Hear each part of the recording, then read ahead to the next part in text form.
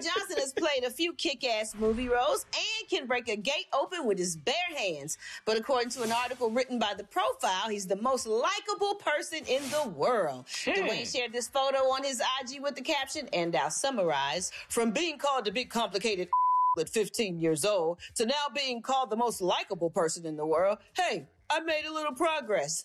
and to add to his kindness, Dwayne, y'all, not too long ago bought his childhood friend Bruno, who took him in twice when he was a teen and struggling wrestler, a new $30,000 truck. Okay, Dwayne. All right, that's Rock nice. is messing it up for everybody with a childhood friend. Because my girlfriend saw this Yeah. and she was like, "Can you buy me a Mercedes?"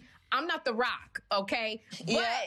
But I think this is why people like the Rock because he's so authentic and he does stuff Yeah. like this. You know, it was from his heart, ripping his gate off so he could he could go to work, so people could get paid. And speaking about the car now, Gary, being that Bruno did uh, help The Rock back in the days, uh, the gift of a $30,000 vehicle, do you feel like that met your standards? Because I know you judge everything. I do right here, Krack. Thank you. That's, that's a damn cheapskate. The Rock is a cheapskate. Why?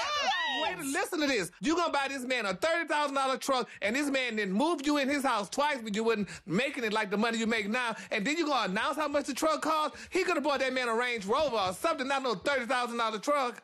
They didn't say The Rock said that's how much it costs. He, they didn't say he said that. Isn't it the thought that counts? Come on, Remind y'all. me to Damn. never buy you Gary else ever in life. Gary, I bet when I bought you that Gucci bracelet, you took your ass to the Gucci store to see how much I paid for it. Did Well, I just wanted to know, Brat. I just see? You can't do that. That ain't right. Oh my God. Hey, don't forget to hit us up on social media. We're on all these platforms at Dish Nation. We'll see you there.